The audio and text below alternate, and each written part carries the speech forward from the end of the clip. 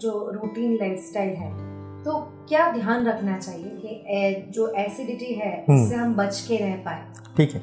देखो एसिड तो बनने वाला है पर एसिड को हम कंट्रोल कैसे कर सकते हैं? एक तो आपकी लाइफस्टाइल और डाइट स्टाइल मॉडिफाई करके लाइफस्टाइल मॉडिफाई करना यानी सबसे पहली चीज़ है कि हमारा पाचन है वो रात को ही होता है। रात को आप छः आठ घंटे की नींद लो, तब आपका पाचन इतना अच्छा हो जाएगा कि सुबह उठोगे, आपका पेट साफ़ हो जाएगा, एकदम कड़कड़ती भूख लगेगी और आप एकदम अच्छे से ब्रेकफास्ट लोगे। पर प्रॉब्लम क्या होता है, अभी स्ट्रेसफुल लाइफस्टाइल में सबकी नींद पूरी नहीं होती।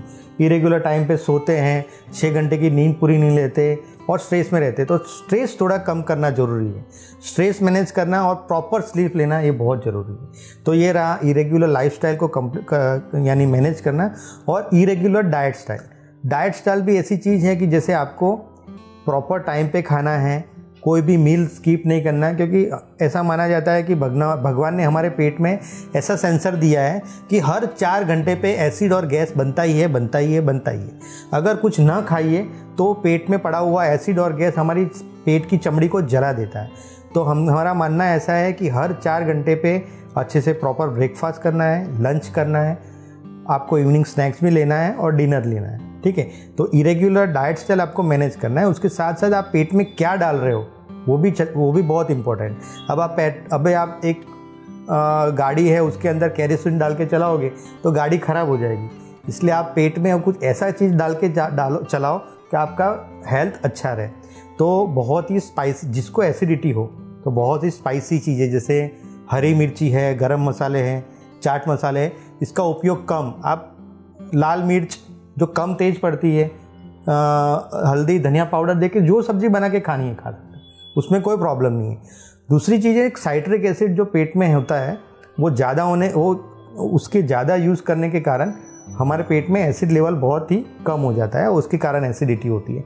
तो ऐसे फ्रूट्स नहीं खाने चाहिए जो साइट्रिक एसिड में ज़्यादा है। जैसे लेमन है पाइन है स्ट्रॉबेरी है रासबेरी है कीवी है गुआवा है, ये सब फ्रूट्स होते हैं, बहुत एसिडिटी कर सकते हैं। उसके जा उसके अलावा आप मीठे फ्रूट्स हैं, जैसे चीकू, सीताफल, पपीता, सेब, केला ये सब फ्रूट्स खा सकते हो। तीसरी चीज़ है हम लोग दही और छाछ को भी बहुत खट्टा मानते हैं पर आप दही छाछ जितना ज़्यादा लो इतना अच्छा है क्योंकि वो डाइजेशन अच्छा करता है वो प्रोबायोटिक के रूप में काम करता है पर उसको जितना फ्रेश लो जैसे पड़ा हुआ नहीं होना चाहिए वो एक आज सुबह बनाया हुआ शाम को खाओ बहुत ही अच्छा रहेगा उससे डाइजेशन बहुत ही अच्छा रहता है। और कई बार हम लोग ये फास्ट फ़ूड वाली चीज़ें मना करते हैं क्योंकि उसमें बहुत ही तेज़ मसाले डाले हुए होते हैं। और आ, देखते हैं तो फर्मेंटेड नाश्ते जैसे खमन, ढोकला, हंडवा, इडली डोसा ये सब चीज़, बेसन वाली चीज़ें बहुत ही एसिडिटी और गैस करती है। तो उसका हो सके इतना कम यूज़ करें तो अच्छा रहता है। और आप दाल राइस रोटी, सब्ज़ी कड़ी खिचड़ी, फीका दही, फीकी छाछ, मीठे फ्रूट ड्राई फ्रूट खाइए आपको देखो एकदम हेल्दी फिट एंड फाइन रहोगे।